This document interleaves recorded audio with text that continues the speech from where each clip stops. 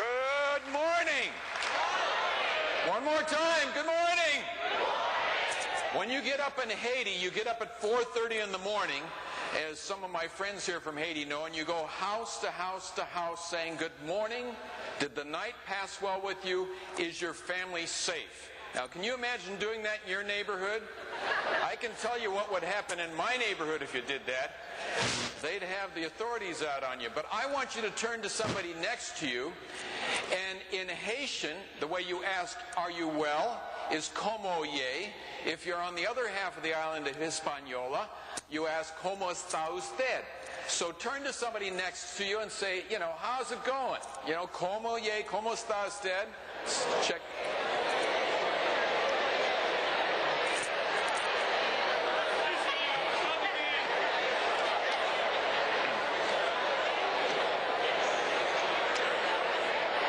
Okay. Atención. Atención. You're starting to enjoy each other a little more than I planned. Christine I want to thank you for the gift of being here. It's really like coming home to family. We've met so many people that we've been with in other places. This is such a remarkable gathering. We work a lot of places. We've never found a place like this. People from so many different backgrounds really committed to making a difference for Christ. And we just want to thank you for the chance to be here and, and have some engagement. And afterwards, for those that want to get together, part of what we do is tell other people's stories. And so I'd like to get some ideas. We're going to be talking about creativity this morning. And this room is filled with creativity. Learn about what you're doing. But also, if you just want to get together and, and get after me for some of the things I've said or have some interaction, I like interaction. This is too big a group to have much. But over there afterwards, and then Christina will be outside with the books if you're interested in, in talking about the books. And we're looking for a couple of young people who could bring their support and work with us. We're trying to develop uh, creativity database, web page, newsletter.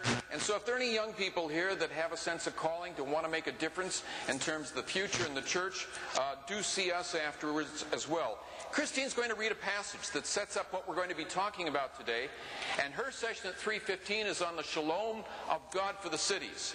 She teaches a course on urban mission and the shalom of God. I, I encourage you to check that out. But one of the major passages of Scripture that has to do with both what she's going to be saying and what we're going to be dealing with today is I out of Isaiah 65, 17 to 25. Listen carefully, open your Bibles, and read with her Isaiah 65, 17 to 25. We're going to be talking about God's purposes today for our lives and for the people He loves in the city. Well, to me, this is one of the most wonderful passages of hope in the Old Testament. Behold, I will create new heavens and a new earth. The former things will not be remembered, nor will they come to mind. But be glad and rejoice forever in what I will create. For I will create Jerusalem to be a delight, and its people a joy. I will rejoice over Jerusalem and take delight in my people. The sound of weeping and of crying will be heard in it no more. Never again will there be an infant who lives but a few days, or an old man who does not live out his years. He who dies at a hundred will be thought a mere youth. He who fails to reach a hundred will be considered accursed. They will build houses and dwell in them. They will plant vineyards and eat their fruit. No longer will they build houses and others live in them, or plant and others eat. For as the days of a tree, so will be the days of my people.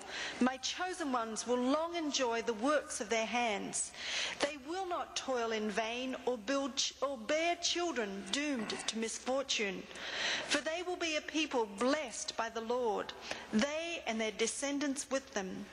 Before they call, I will answer. While they are still speaking, I will hear. The wolf and the lamb will feed together, and the lion will eat straw like the ox. But dust will be the food, will be the serpent's food. They will neither harm nor destroy on all my holy mountain, says the Lord. Thanks be to God. Dear Lord, we thank you this morning that you have a purpose and a vision for us for the future that is filled with hope. And I pray that as Tom shares this morning, that you will help us to catch more of a sense of that vision and of your purposes for our future. I pray, dear God, that you will ignite us with your passion and your desire to see your kingdom come in all that we do. And we pray this in Christ's name. Amen. I talked to a lot of people yesterday, right after the session, and people are saying, you know, what am I supposed to do with all this? How many of you felt just a bit overwhelmed with all the future stuff yesterday? Okay. Well, the future is a happening place, but tomorrow's challenges really are opportunities. And the question I got asked most often is, you know, what do I do? When I get back home, what do I do with this? Well, we're going to try to address that today, and we're going to try to get very practical. And before we're done, we're going to have you creating ways to do something with your life that's fresh and creative. And we're going to be talking about creativity today, not innovation for the sake of innovation, but innovation so that we can engage those new challenges in a way that really advance God's purposes. And those, that's what we're going to be after. So CDA 2008. We are challenging leaders to create new possibilities for the purposes of God for a new millennium. Three things we're trying to do in these two sessions. First of all, we need leaders who lead with foresight. All of you that are involved in urban ministries and church planning, I urge you, before you plan next time, do some forecasting. Find out how your community is going to be different in the next 10 years. Do a futures needs assessment. What are going to be the new needs, the new challenges? How is your resource base likely to change in the next 10 years? Then create new ministries that engage not just today's needs, but tomorrow's challenges. And CD, CCDA has a tremendous opportunity. I'm going to be talking to Wayne about this of ways to kind of help us all to think down the road of peace and, and get futuristic. But this morning we're going to talk about leading with vision and leading with creativity. Now, leading with vision, I'm going to be, I'm going to be speaking uh, out of our experience working with primarily white churches. The white church in America is in crisis because only 20% of our resource ever leaves the building. We work with white churches all over America that have big buildings and big, big budgets, and they don't have a single ministry outside the building. And it's not just a crisis in our churches, it's a crisis in our discipleship. Less than 20% of the white churches we work with, less than 20% of the people in those churches can find two hours a week for anybody else. The, the evangelical cop out is a little word on the job for Jesus, and that's not going to get it done in the third millennium. We're going to need to get our churches out of the uh, people out of the buildings, out of the houses, and we need to get our people involved in ministry. And the only way to do that is to put first things first. So we desperately need to recover a vision. And then we need some creativity to reorder our lives, reorder our priorities in our congregations to put first things first. Little story to get us started. Uh, we are going to need some fresh creativity, and sometimes we have, a, those of us who are older, have a little harder time getting a hold of our imagination, our creativity. When I was a college guy, back when I was younger, we had a wonderful creative opportunity when a friend of mine, uh, just on impulse, while he was going to college, he just happened to find that this uh, guy down the street had this old funeral hearse for sale. This gigantic old funeral hearse, you know, the big square back end with the little curtains at the windows. Well, he drove that beautiful, beautiful vehicle on campus. And as soon as we saw that vehicle, we realized we had a creative challenge. We had to find some way to make use of this incredible vehicle, and so we started brainstorming. We finally got up an idea. We found by careful packing we could load 13 students in the back of that funeral hearse all at the same time, lying down side by side, 13 of us packed in the back of that funeral hearse. Then my friend that bought this hearse proceeded to drive all over Portland, Oregon. Every kind he and he would race up to the stoplights or the stop signs, and every time he would come screeching up the stop signs, he'd slam on the brakes. All 13 of us would sit bolt upright at the same time. Cars drove up on lawns. Guys swallowed their cigarettes. We'd lay back down. We'd wait for the next stop sign. We'd all come up together, and we caused absolute chaos all over Portland, Oregon. It was so rewarding. We need a renaissance of Christian imagination. We need a renaissance of Christian creativity. Not innovation for innovation, but innovation to put God's purposes first. The number one crisis in the church today is a crisis of vision. And when I use the term vision, I'm not talking about anything hyper spiritual in the clouds. I'm talking about the image of the better future. The image of the better future that we want for our families, for our lives, for our friends. We're in trouble because the image of the better future that drives our lives and decides where we place our time and money generally does not come from the Word of God. It comes from American culture. And we're in trouble. Aboriginal, Aboriginals have a saying after their experience with Europeans. They say, white man got no dreaming. White man got no dreaming. Him go another way. Their experience of the Europeans that came to Australia is that they didn't have spirituality, they didn't have soul, and they didn't have a vision for the future that came out of their faith. It came out of a whole Western progress myth that we're into big time in this society. There's a Christian author, uh, uh, Mr. Kenneth Boulding that said, no people, no society, no organization can long exist without some compelling image of the better future that calls us forward into tomorrow. And as John, John said this morning, without a vision, the people perish. But not only we are perishing, but the people we're called to minister in Christ's name are perishing because we do not have a vision at the core of our lives that really comes out of faith and out of Scripture. And it affects the way we do discipleship. We do discipleship where Jesus is little more than a devotional lubricant. We try to get in around the edges while we try to get up the mountain and get ahead. We need to go back to the Bible and find a new reason for being. Yesterday we took some trips. We took some trips back to the future. I want to take some, uh, a couple trips with you. The first one by way of a children's story called Hope for the Flowers. Now, Hope for the Flowers is a little kid's story about a caterpillar by the name of Stripe. Stripe the caterpillar in the story starts wandering through the grass on a warm spring day. All of a sudden, Stripe the caterpillar comes upon a most unusual, incredible stri- uh, sight.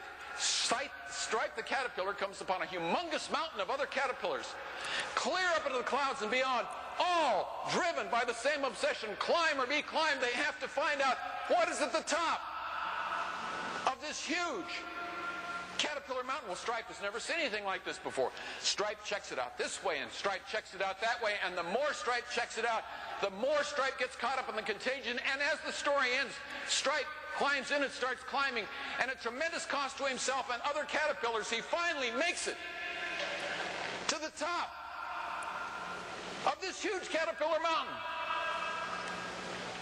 Only to discover there's nothing there at all. Nothing at the top. How many of us are climbing caterpillar mountains? I can tell you a lot of folks in the white church, they're trying to get ahead in their careers, they're trying to get ahead in the suburbs, and never ask what's at the top.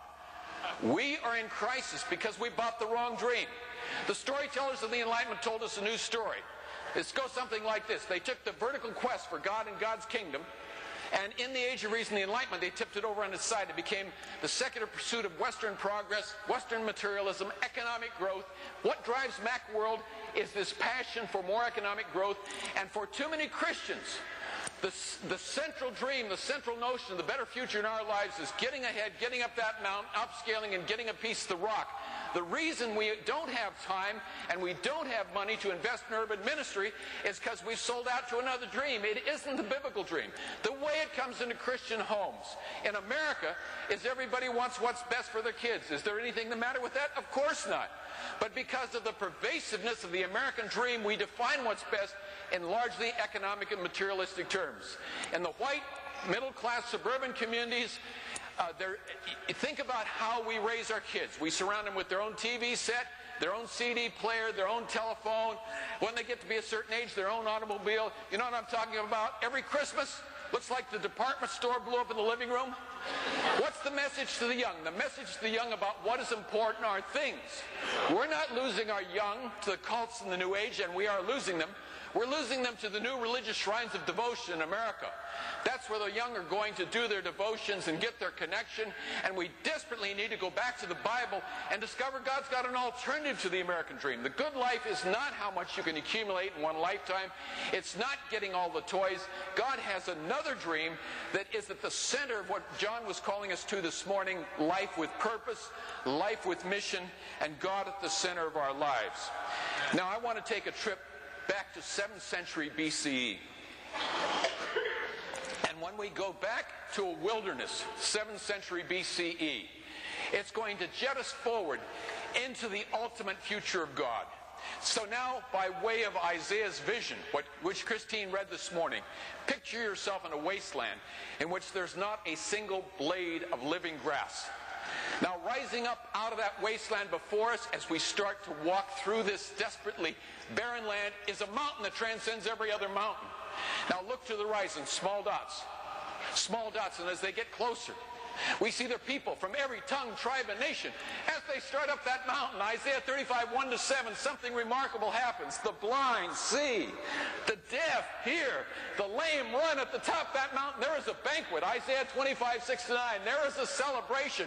Tony Campolo's got it right. There is a party. And God is in the midst of that party, wiping away all tears from their eyes. What are God's purposes for the future? It's not getting a piece of the rock. God's purpose is to create a new heaven and a new earth. God's purpose is to bring justice to the poor. God's purpose is to bring peace to the nations. God's purpose is to bring reconciliation between people from all different kinds of backgrounds. And we're going to be a part of an incredible international homecoming.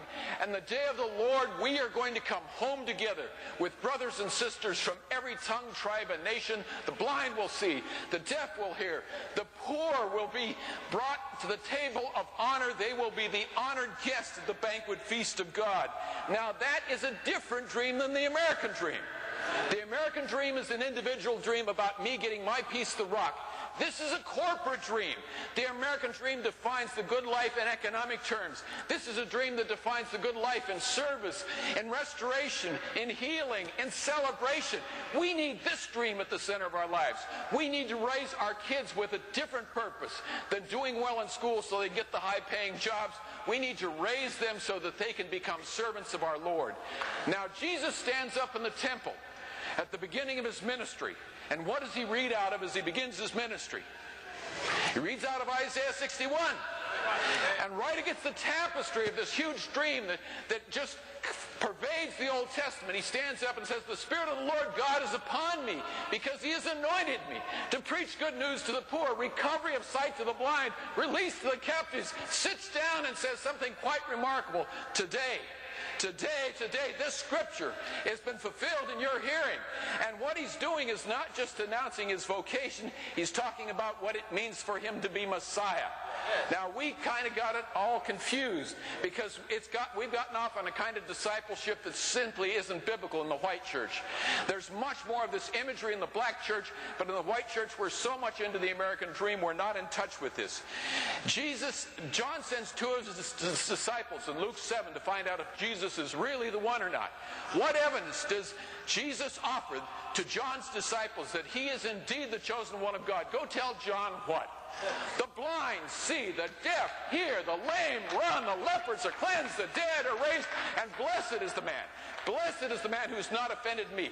The proof of the fact that he was the chosen one of God was not only was committed to God, he was committed to the purposes of God.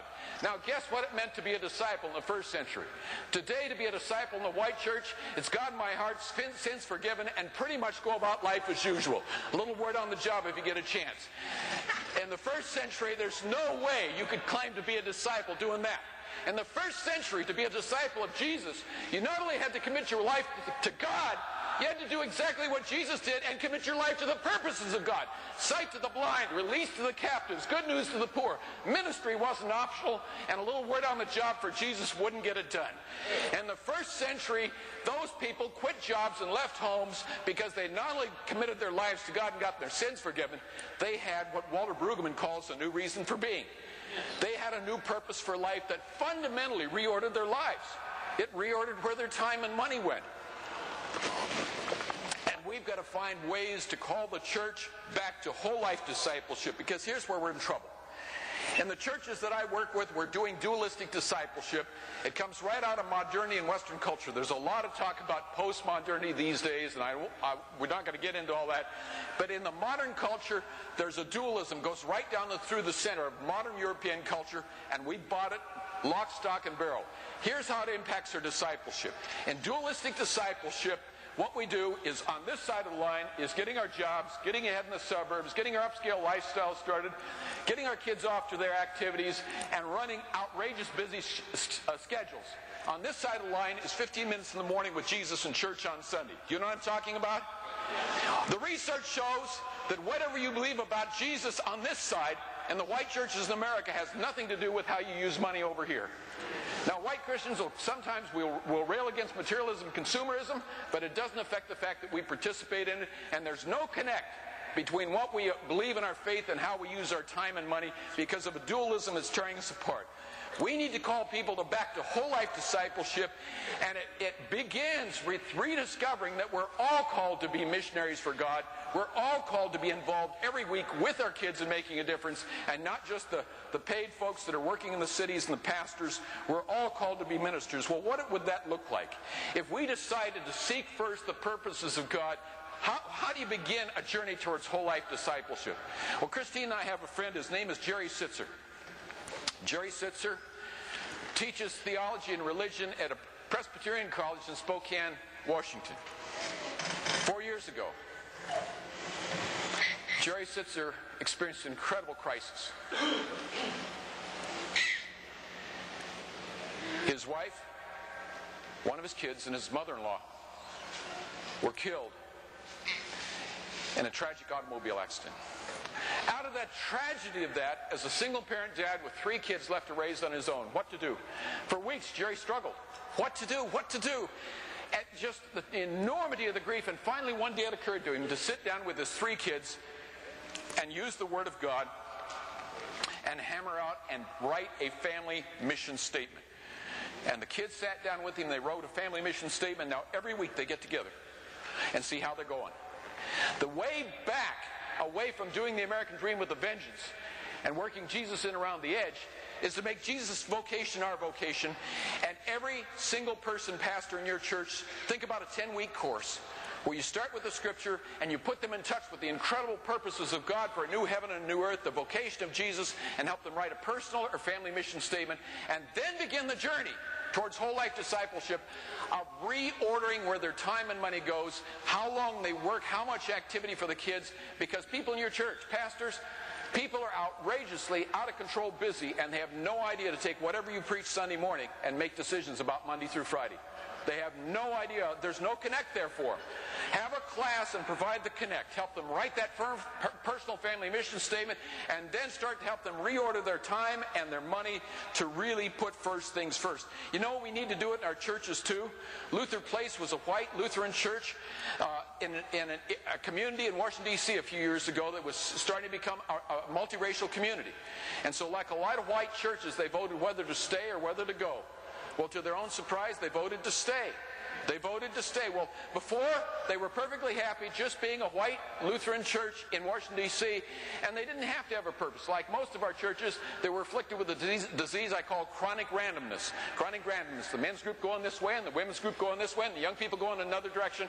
Once a year, you have a potluck and celebrate the fact you're still doing some of the stuff this year you did the year before. Nobody knows how it all fits together. There's no purpose. There's no integrating focus, chronic randomness. So these good people said, if we're going to stay, we need to have a purpose. And so they went to praying, they went to searching Scripture, and being a sacramental church, they discovered as God is hospitality to us in the bread and the wine of the Eucharist, the communion, we need to be hospitality in a broken and needy community. They slashed a lot of programs they're doing. Everything they reinvented was focused around a singular purpose to be the hospitality of Jesus Christ and a community that needed to know about God's love. Folks involved in urban ministry, we can no longer just have mission statements about direction. We need to biblically define why we do what we do. We need to write down what our biblical assumptions are. Too often we work from what I call a set of immaculate assumptions. Like we all know what the mission of the church is. We all know what it means to be a disciple. We just need to go out and do it. We don't know. We don't know. We need to sit down and write down our assumptions. One of the assumptions we wrote down in the Haiti project I was involved in, we wrote down our biblical assumptions. One of them is that God was alive and well and at work in Haiti before we got there. Now I believe that, and I believe it's biblical. Now, because we wrote that down, we had to act on it. So when we got there, we'd done a needs assessment two weeks before and found out what their needs were, and they wanted buildings and tractors and a lot of expensive stuff. But we wanted to find out how God was alive and well. So we went around a second time and asked them, what dreams, what dreams is God giving you for your family and for your community? And we heard people say, you know, our, our community of 10,000 people, there's so many divisions, people at one another's throats. We want to see reconciliation. You know what? 80% of our kids don't go to school. We want to see them go to school. And we want to see a spiritual renewal. We never would have found out what was stirring those hearts and what God was doing if we hadn't asked the question. So I urge you to do the hard biblical work of writing down your biblical assumptions of why you do what you do. We need to go back to the Bible and not just use it devotionally. We need to use it culturally. We need to find a new purpose for our lives, new purpose for our congregation, new basis for ministry. Once you do that, then we need to get creative. Again, not innovation for the sake of innovation, but innovation to address those new challenges that are coming at us in the third millennium at breakneck speed, but also ways to put God's purposes first. So what would it look like if we really decided to put God's purposes first, first of all in our lives? Will it mean helping every family develop that personal mission statement? It would mean starting to, to talk about putting first things first and calling every individual and family to be involved in ministry. InterVarsity Christian Fellowship on the West Coast. You know what they call it? Challenge those young people to do? They challenge them to give God the first year out of college and work in urban ministries. And they live in shared housing in Southern California and Seattle, and they're working with the poor. We need to challenge every family, every individual. Now, business people get a master's degree at Eastern College and do small business development, micro enterprise development in the inner city. There are ways you can do it through your work. But if you can't do it through your work, then Christine and I challenge every family in the church that's where it's possible. It isn't possible for everybody, but many could free up two to four hours a week, change their time style to free up two to four hours a week to be involved in ministry. I was working in a Presbyterian church and asked those good Presbyterian folks, what is it that bonds American Christian families together? I mean, what do we do to, what do we do together more than anything else as parents and kids in Christian homes? Eat. Big Mac hamburgers, uh, sitcom television, trips to the mall. What bonds our life together, just like the people outside the church, is what we consume together. One of the reasons we're not effective in evangelism, we're so much like the culture around us, we don't have much to offer. We hang around church buildings a little more. We abstain from a few things. We don't do hedonism as well as the folks around us, but we sure keep trying. So. The reason we're not effective is that we're so much like we haven't allowed God to change all of our lives. So part of what we need to do is to challenge families to be families for others. So I said that in this Presbyterian church. I said, let's get families bonded together with parents and kids doing ministry together because I said, I've never seen a church, black, white, or Hispanic, that facilitates parents and kids doing ministry together. I know some families who do it. I don't know any churches that are helping make it happen. Came back to the church a few weeks later. The church hadn't changed, but this woman came up to me. She said, we are doing it. I said, what are you doing? She said, because of your challenge, We've changed our time style and we've freed up one evening a week. And I said, good on you. She said, also because of what you, and she said, we're working with senior citizens who are invalids, who are in their homes, and they're going to lose their homes if somebody doesn't help them with their chores. But she said, also because of what you said, we bring our little preschoolers with us.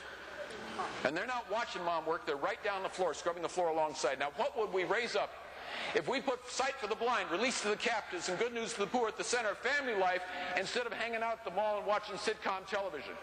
We need to call families to be families for others.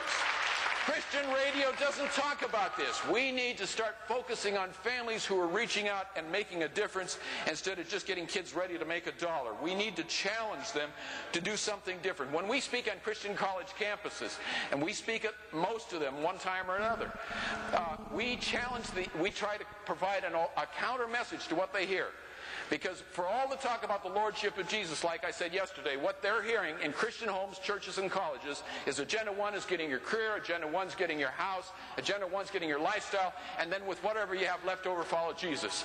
That is not the message we give. The message we give is the decision 1 is not where to work, it's not where to live, it's not even who to marry. Decision 1 is how is God calling you to use your life to make a difference for God's kingdom, and then decide where to live, then decide where to, who to marry, and how to order your lifestyle around around your ministry vocation. We need to challenge a new generation to put first things first and reorder our lives so we can be people with a difference.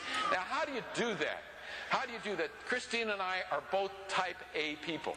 Christine came down with chronic fatigue syndrome because in Christian ministry, she was trying to do too much. Anybody here feeling a little overstressed, a little overcommitted, a little overbooked? Yeah, it's an addiction. We're, we're crazy performance oriented. I had a pastor say, say to me once, because of my problem with this, he says, Tom, he said, You know, this business is dying for the kingdom? I said, Yeah. He said, It's been done once already. You don't have to do it again. Some of our drivenness is messianic. You know, God's going to bring the kingdom whether we kill ourselves or not. And God has for us a way of life that's more festive, more celebrated, with an easier rhythm than the rat race. We, we can find a better way of life. So what Christine and I have learned from our Catholic friends is to take some time to go on a prayer retreat.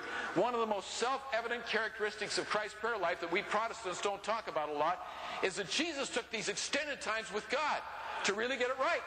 Well, Jesus needed to do it, we need to do it. And so four times a year, Christine and I go on a prayer retreat. We take a couple days, we take our Bible, we take our journal. We don't intercede, we don't pray for others this time. We wait for God to tell us where we messed up.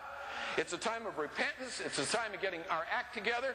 It's a time of listening. And out of this, we rewrite our family mission statement. At the center of our family mission statement is Proverbs 31 to be a voice for those who have no voice. We both worked in international mission.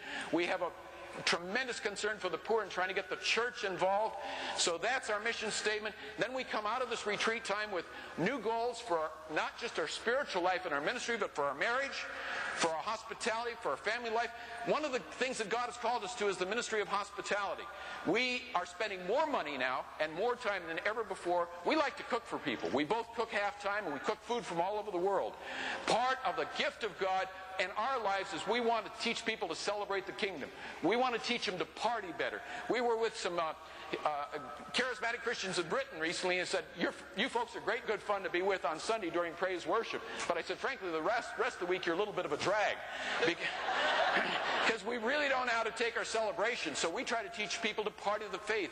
And we have Africa nights where we have food from Africa, ground nut stew and different dishes. We have a celebration called Advent 2 Homecoming every, every Christmas season to teach people to party, the great homecoming. And so we spend more time partying, celebrating, and doing hospitality. But we are also asking the question we also all need to ask, how much is enough? We found we didn't need two cars, and we need to start figuring out where we can pare back so we've got time or money for what's important, particularly in the white church. Many people in the white church could double, triple tithe and not hurt themselves at all. Uh, can I just say a word here? Pastors, you may want to disagree with me, so come and chew on me afterwards, but I want to tell you the tithe isn't biblical. Not in the New Testament. I understand the Old Testament origins. In the New Testament, following Jesus is a whole life proposition. It was never a 10% deal.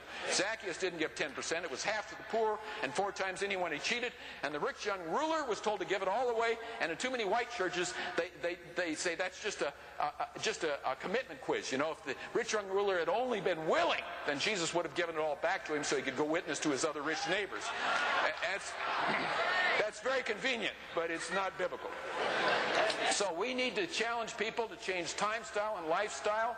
I challenge you, husbands and wives, single people, if you've never gone on a prayer retreat, go on a prayer retreat and get as much time freed up as you can and just keep those windows open. Don't, don't schedule anything else in. Enjoy having a little space in your life. Get off some of those committees. Get out of some of that busyness and have some time in your life for prayer because the center of whole life discipleship is a life of prayer and scripture study and li- learning to live with much greater celebration. And then once we do that in our personal lives, putting first things first, we need community. The only way we can be whole life disciples is in community where we're known, loved, and held accountable. Now, one of the things I talk about in white churches, white evangelical churches, terrifies them because I tell them about some Mennonites in Indiana. Mennonites have small groups, and we all need to be in small groups. But these small groups are different. They don't just study Scripture and disciple one another and help one another out in hard times. Twice a year in Goshen, Indiana, this one Mennonite church, everybody in the small group brings their time schedule and their budget and opens it before everybody else. In their small group and say, now, how can we use our time and money in the next six months to really put God's purposes first? You can see upper middle class white folks blanch. You can see them sucking air when I talk about that because that is really uncomfortable because we're so much into an individualism that comes out of Western American culture. It doesn't come out of the kingdom of God. We need communities where we're known, loved, and held accountable. But you know what we also need for the under 35? Under 35, raise your hands again. Under 35?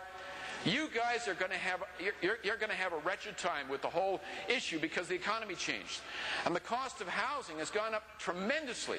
The first house I bought. Uh, did I mention the house yesterday? I don't think I did. The story I was working at Christian college with a welfare income of 4800 a year. That's what they were paying back then. It wasn't much but I bought a four bedroom, two and a half bath house with a full basement and totally been restored. New roof, new plumbing, modern kitchen, modern bath, 14500 $100 a month payments, and I had no trouble on one welfare salary of 4800 making that payment. That house today is around 400000 Two young people with good income can't make the, make the cut. We need to think about whole life discipleship and whole life stewardship.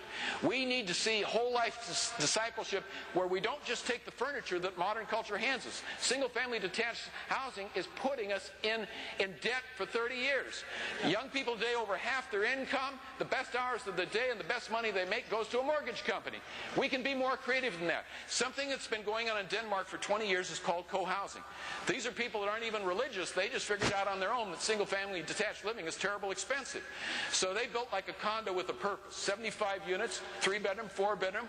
Uh, they, instead of uh, having these huge recreation rooms that many people my age have, you know, that use twice a year, they have one recreation room for 75 people, and they have meals there every evening. 90 cents per person. Every couple cooks every once every two months. You don't have to eat there. This is not the communes of the 60. You got your own kitchen, but they prefer it. They share childcare. They help one another out instead of backyard and front yard. They got one area where they grow their gardens together, and got another area where the kids play together. They discovered it's a better way of life. There is a, a Rock Ridge Methodist Church, Oakland, California, and, an interracial community is building the first Christian co-housing project this right now while we're here. It's, it's multicultural, it's intergenerational, it's a witness for the kingdom, it's less expensive to build, it's less expensive to maintain, and it's a mutual lifestyle. Jeff Wright, who is at this conference, is doing the same thing in Southern California, and Jeff, I still want to get that story. So we need to find some ways. What I talk about with so many groups is building a sixplex. Six three bedroom, one bath units for young couples, and you can do it in Seattle on a third of an acre. What a young couple would have to start off in Seattle to buy a house, 150,000 fixer-upper, tiny two-bedroom would cost you a half million over 30 years.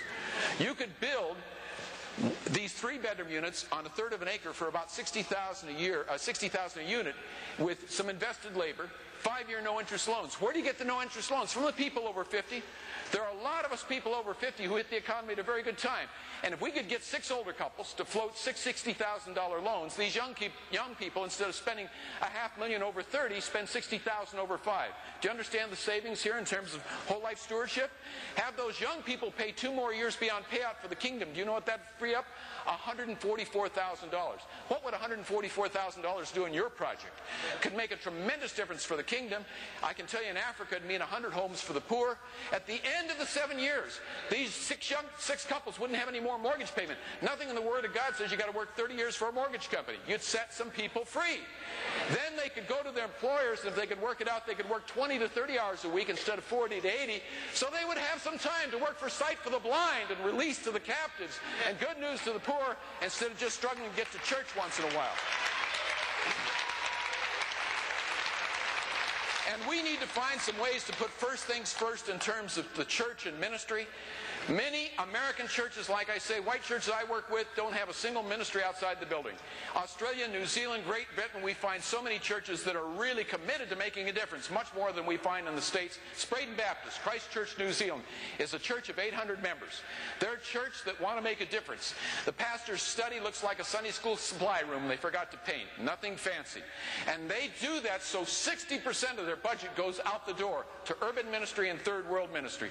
That small, that congregation of 800 has 25 thriving urban ministries, including a kingdom trust to provide small loans to start small businesses. We've got to find new ways to plant churches to reach a new generation. There's a church in England called uh, where they bought a brown bear pub, they called it, reaching out to Caribbean young people. They put together a reggae band, and they're finding a whole new way to reach out in a community uh, of people from the Caribbean, and we've got to plant new churches. But in terms of urban ministry, we've got to get creative as well. In Seattle, there's a recognition if the church is to have a future, we've got to raise up a new generation.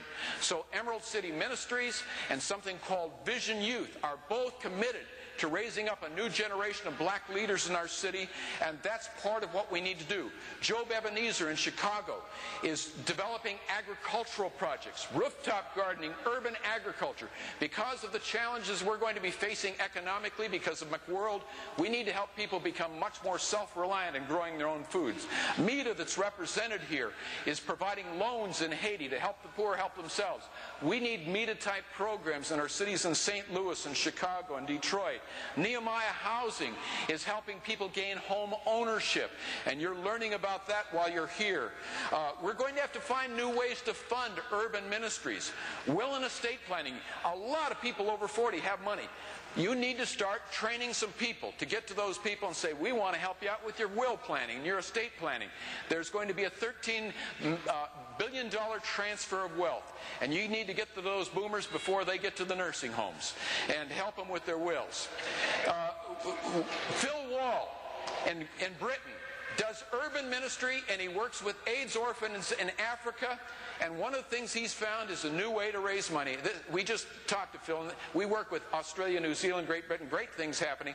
And what he does, he doesn't go and ask people for money at banquets to raise money for AIDS orphan. He uses the parable of the talents and he gives the money.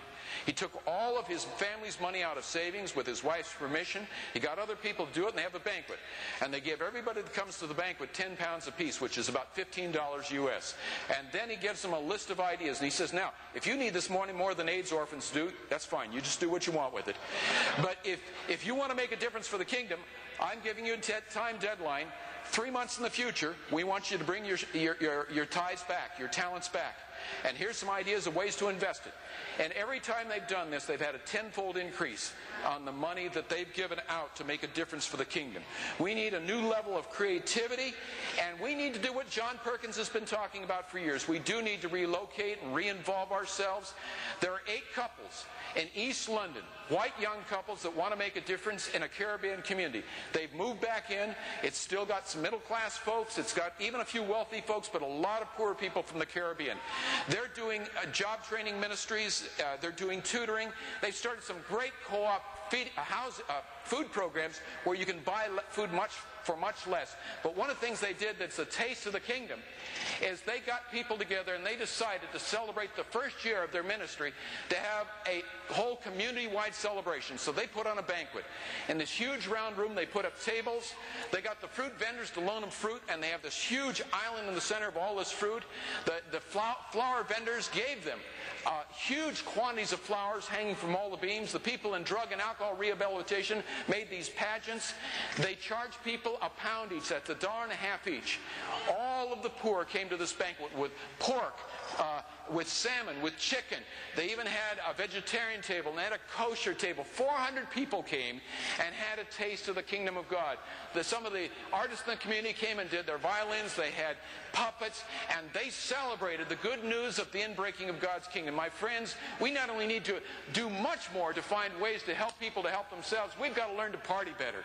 We not only need to focus on the needs, we need to learn to celebrate the good news that the kingdom has come all that God purposes for us is a purpose of hope and renewal. God has given us a hope and a future.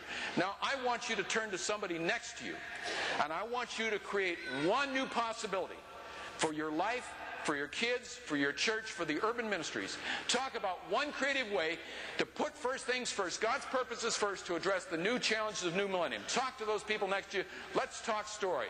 Let's create some new models. Talk to one another. It's creativity time.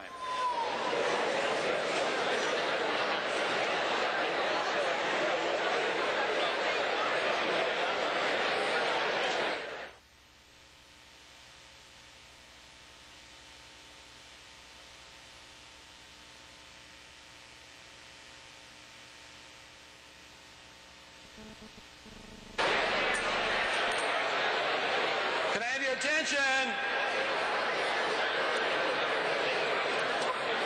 One of the things that Christine and I do is creativity workshops. I would urge you before you plan next to do forecasting, to really try to write down out of Scripture why you do what you do, but do some brainstorming. What you're doing in these moments is very important. Just want to get a couple people to quickly share. I got a few young people because they're the future of the church. Just to share quickly a couple of ideas that have come out of these moments together.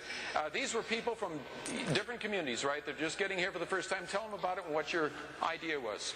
Okay. Well, um, we, we have been talking about discovering an old idea, um, which is the early church of Acts 2 and 4, and uh, living in the community that Jesus set up there. And there's a few of us from a lot of, of different places. One that we're talking to is from Omaha, Nebraska, and we're from Philadelphia. But we both are rediscovering that community um, and and trying to live it out. And, and, it's it's an amazing thing as we're beginning to to share things in common, not as a prescription of how what community is, but they shared everything in common because they fell in love with each other and with God, and that's what we were talking about over there. Okay, so. thank you. There are a lot of families here, and I found a young couple that are struggling with what a lot of us need to struggle with, and they've got some beginning ideas. Don't sit in the front if you don't want to be called up here. um, basically, my husband and I were talking through um, the struggle and the tension of desire, our parents teaching us a lot of wanting to live the way they didn't have to live, the way they didn't struggle. And both of us have lived fairly sheltered lives and haven't had to struggle a lot. And so we see that desire to try to maintain um, what we've got, which is American an American dream. And so instead of being content a lifestyle of a nine to five ministry, which really isn't ministry if, if it's just nine to five, really being called beyond that to live in community and give of ourselves and to be freed up, to experience that freedom. I mean, John Perkins has said time and time again to, to make a lot of money, save a lot of money, and give it all away. And I really long to, to be that type of person that doesn't try to find out how can I, I can save more money, but to give it away and feel that freedom. So. Okay, thanks so much.